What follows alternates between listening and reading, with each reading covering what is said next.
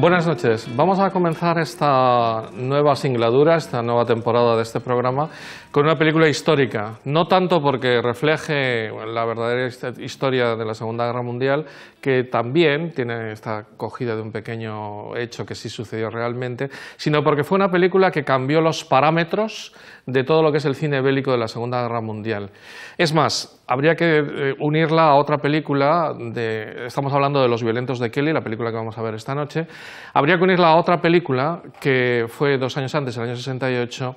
y que se titula Doce del patíbulo. En aquel entonces, Robert Aldrich consiguió que los héroes fueran unos individuos que estaban condenados a muerte que estaban condenados a morir y que se les ofrecía la posibilidad de ser unos héroes a cambio de evitar la pena de muerte. Es como el primer escalón hacia esta otra película que da una vuelta de tuerca más y convierte al héroe en un antihéroe. De tal manera que eh, ambas películas juntas, eh, 12 del patíbulo y Los violentos de Kelly, se convierten en todo un cambio en el cine bélico de la Segunda Guerra Mundial. Todavía más si tenemos en cuenta el título original, que se iba a llamar eh, Kelly Heroes, es decir, los héroes de Kelly, convirtiendo todavía más la palabra héroe en el centro de la acción.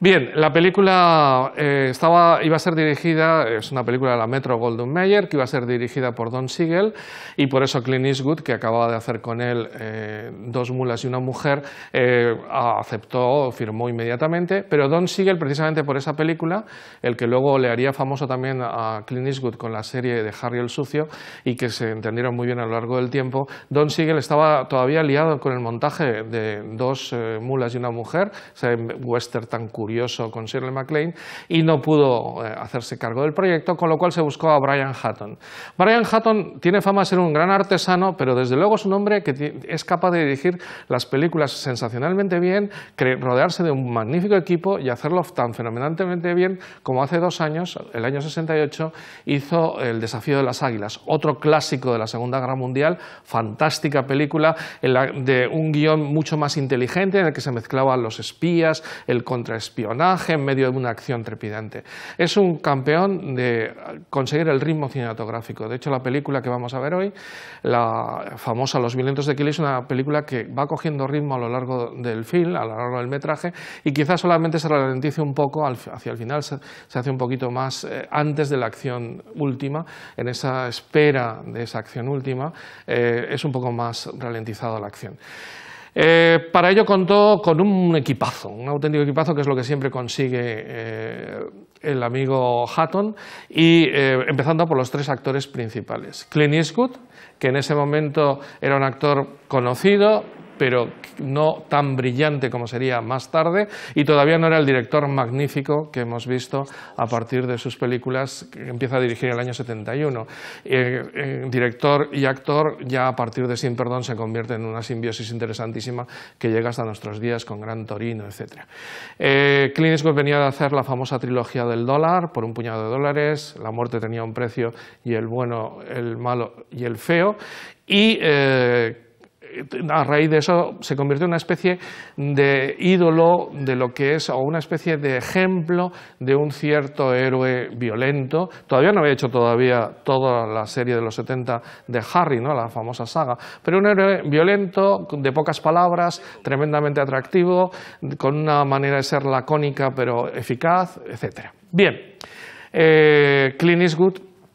eh, el segundo, eh, que es el protagonista, el teniente en este caso un teniente que ha sido degradado ya, el antihéroe, ¿no? que es el que organiza el robo, Kelly. Junto a él, Donald Sutherland. Donald Sutherland es un actor canadiense que nació en New Brunswick, eh, que realmente en ese momento tenía 25 años. Esta fue la película que le marcó. De hecho, a partir de este momento será difícil que encuentre otros personajes, todas las productoras le ofrecen personajes excéntricos como este personaje personaje del sargento de los tanques Sherman que durante toda la película hace eh, Donald Sutherland. Donald Sutherland eh, luego eh, consiguió ya ser un, actor de reconocido prestigio y ha llegado hasta nuestros días, siendo un verdadero icono, eh, ahora con su barba blanca, lo recordarán tanto en papeles de malo malísimo como el presidente de la saga de los Juegos del Hambre, como del magnífico El hombre bueno fiscal de la Haya de la serie Crossing Lines. Eh, hombre de largo recorrido y casado con otra actriz,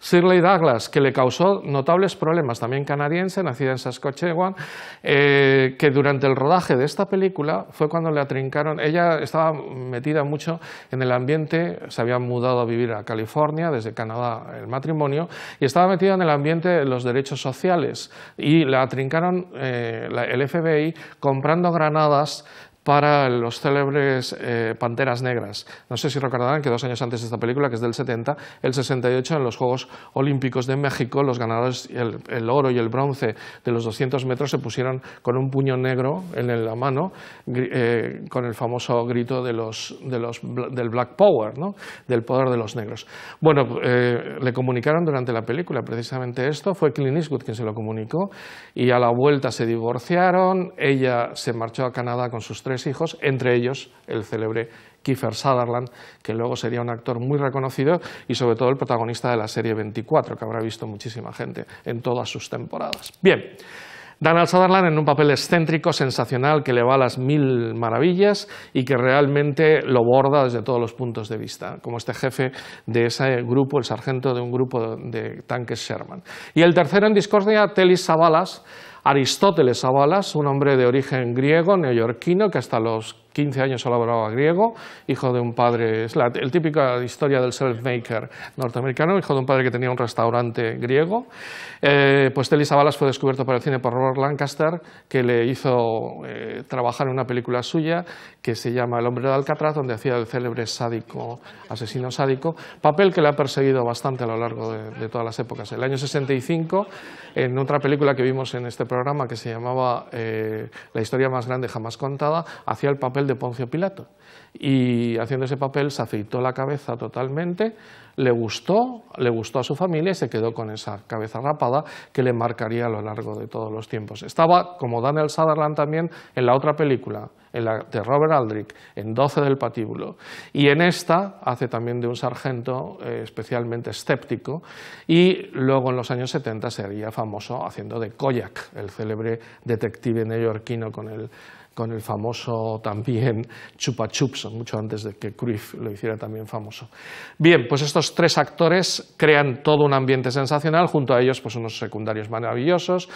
Supongo que se recordarán de Gavin MacLeod, que luego hizo de capitán de una serie de mucho éxito en España que se llamaba Vacaciones en el Mar, en América El Barco del Amor. Bien, y, y por lo tanto pues un elenco francamente bueno. ¿no? Junto a ellos, un guionista excepcional, Troy Kennedy Martin, un escocés eh, católico de origen irlandés, de hecho estudió en el Trinity College de Dublín eh, la carrera, y que es un hombre que se ha hecho famoso también en la BBC, etcétera, con unos guiones muy ingeniosos, porque una de las cuestiones de esta película es quedarse con la cantidad de frases, de ideas, de, de diálogos inteligentísimos que disfrutarán a lo largo de toda esta noche eh, cuando lo vean, porque realmente es una maravilla la imbricación de las conversaciones entre todos ellos. Además, con remedos y con eh, pequeños guiños a otras películas, pequeños guiños a Nueva York, pequeños guiños a otras cuestiones. Bien, y junto a él también, eh, otra de las personalidades importantísimas de la película es John Barry. No confundir este John Barry, director artístico, uno de los cinco mejores diseñadores de producción de Hollywood, con el célebre creador de bandas sonoras, John Barry también, que es el de Bailando con Lobos o Memorias de África. Este John Barry se hizo famoso, y lo conocerán ustedes, por la famosa eh, eh, ambientación de la naranja mecánica y luego ganaría el Oscar por ser el creador de todo ese mundo maravilloso que fue la Guerra de las Galaxias. Eh, George Lucas le cogió a él especialmente para crear todo ese mundo y él es el creador de la mayoría de las cosas, de los pueblos eh, galácticos que se parecen al oeste, etc. John Barry. Bueno, pues John Barry creó una verdadera dirección artística fabulosa en la película. La película se rodó en Yugoslavia Se rodó en Yugoslavia por dos razones. Una primera, porque la Metro había hecho varias películas allí y en la dictadura de Tito no podían sacar el dinero que habían ganado con la película, a no ser que la invirtieran en otras películas allí o que lo invirtieran en otras cosas, pero en Yugoslavia. Con lo cual decidieron hacer ahí esta película y, lo seguirían haciendo. ¿eh? Por ejemplo, eh, El violinista en el tejado se, rodó también en la extinta Yugoslavia. Está rodada en zonas de Croacia, zonas de Serbia, en la costa sur de Trieste. En esa hay como tres ambientaciones más grandes y, luego determinadas zonas de paisaje. Y la otra razón por la que se rodó en Yugoslavia era porque eh, se acababa de rodar allí la batalla del río Neretva y el ejército yugoslavo de ese momento mantenía muchos de los tanques, y esta es una película sobre todo de tanques, de la Segunda Guerra Mundial. Los Sherman que van a ver, los eh, famosos tanques o carros de combate del ejército norteamericano, son auténticos y los... Eh, el famoso Panzer VI, más conocido como Tiger, el último Panzer o el último carro de combate alemán importante, el Tiger, célebre, son los T-34 rusos, pero transmutados, retocados para que parezca un Tiger, de tal manera que no había otro sitio donde hubiese tantos tanques eh, tan bien ambientados en la época que relata la película, que es en el año 44 en Francia, cerca de Nancy, donde estaba la División 35 que llevan todos ellos aquí en la manga, etc. La División 35 era una división norteamericana creada con gente de Nebraska, Kansas, del Middle West, que también se notan los acentos de la gente, etc. Bien. Eh, por lo tanto, John Barry cuidando muchísimo toda la ambientación, un magnífico guion de Troy Kennedy y un montón de problemas a posteriori con la dirección de la Metro, que intentó cortar algunas escenas y al final cortó 20 minutos de la película, que son los 20 minutos que más profundidad daban a los personajes, de tal manera que de alguna manera se ha perdido algo algo un poco mm, de que eso lo solucionó Troy Kennedy con los diálogos, que son francamente buenos, pero se ha perdido algo de la profundidad de algunos de los personajes. Eh, también se desapareció, pero esto ya antes, el personaje femenino, que iba a hacerlo Mary Ur, que era la protagonista precisamente de El desafío de las águilas, la célebre esta espía medio alemana, medio norteamericana, que aparece en esa película tan inteligente, eh, pues Mary Ur, cuando iba a subir al avión, ya le dijeron que no se fuera porque su personaje había sido borrado. Con lo cual estamos en una película bélica totalmente, ni siquiera sin personaje femenino, sin chica de la película, totalmente centrado en un mundo de revisión, de alguna manera, digamos que es una revisión en la cual se está destrozando un tanto el militarismo, porque todos ellos son gente que intenta vivir en contra de, las leyes militares, eh, algunas veces un poquito pasado de rosca, como todo el grupo de Daniel Sutherland, que sería inviable en plena Segunda Guerra Mundial. Ni siquiera su pinta con ese pelo largo y la barba crecida le hubiesen permitido, ni el ambiente ese que hay en todo su... cuando lo presentan lleno de, chicas por allí, medio drogadictos todos y tal, es un momento en el cual realmente está pensando más en otra guerra, la guerra que en ese momento se estaba haciendo, que era la guerra del Vietnam. Y por lo tanto, si unimos esta película a otra que se hizo el año 70, que era MASH, una película de un director que a partir de ese momento será famosísimo, Robert Altman, y que creará toda una serie posterior, más se era la Guerra de Corea, un hospital de campaña en la Guerra de Corea. Esto es la Segunda Guerra Mundial, pero sin embargo ambas películas del año 70, una estrenada en enero, la de MASH y otra estrenada en abril, la de que vamos a ver hoy, Los violentos de Kelly, ambas estaban pensando en esa guerra que se estaba desarrollando en esos momentos en Vietnam. Y todavía no se hacían películas sobre la guerra de Vietnam en serio, se volverán a hacer ya en los años 80, pero sí que estaban pensando en ese antimilitarismo que tenía la sociedad norteamericana en ese momento de ver a, los chicos jóvenes yéndose a luchar al otro lado, en el extremo de Oriente. Bien, por lo tanto, la película tiene muchísimas referencias a muchas cosas, pero está llevada no con ese humor tan cínico que tiene más, sino con un humor un tanto mm, soterrado, puesto aquí y allá en algunas escenas como el homenaje que le hace a el bueno, el malo y el feo cuando los norteamericanos van andando en busca del tanque alemán como si se tratara de un duelo de esa película. O algunas cosas más difíciles de captar como que el oficial alemán hecho por Karl Otto Alberti pronuncia todo el rato las frases como si fuera Marlon Brando en la célebre película que hacía de oficial alemán que se llamaba El baile de los malditos, película del año 58 donde, donde Brando era un teniente alemán con ese acentillo que imita a Alberti muy bien. De tal manera que la película puede ser vista desde muchos puntos de vista. Es una película que los amantes de las armas les encanta porque están muy bien hechas, incluso el rifle este telescópico que desde el campanario es auténtico. Hay algunas cosas que no, ¿eh? por ejemplo el avión es un, eh, un Ízaro del año 55, pero bueno, eh, tampoco vamos a estar en esto porque la, la cuestión es tener la suficiente holgura para que te salga una película decente. Y si, si, se dan cuenta, esta gente que busca muchos fallos y tal, en la celebración aparecen unas chicas con falda corta y botas de los años 70, pero bueno, son pequeños detalles. La película está muy cuidada porque John Barry cuidaba mucho, está perfectamente narrada y está perfectamente con los actores precisos y esos tres genios, Daniel Sutherland, Clint Eastwood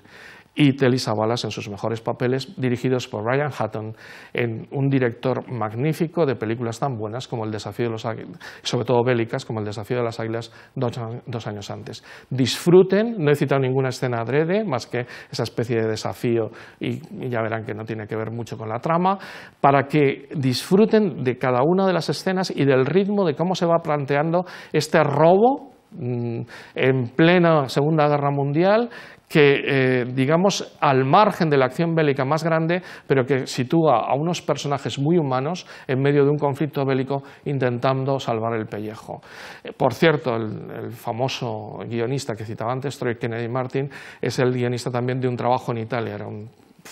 fabuloso guionista de robos. Disfruten de la película, de la actuación de los actores que hemos citado y sobre todo de ese ambiente que supuso el cambio en todo el cine bélico. No vamos a ver una película clásica típica de Hollywood de propaganda bélica norteamericana, sino una reflexión más profunda y al mismo tiempo más superficial, si cabe esa doble, eh, ese doble tilde, esa doble adjetivación, una película tremendamente interesante que cambió la historia del cine bélico de la Segunda Guerra Mundial.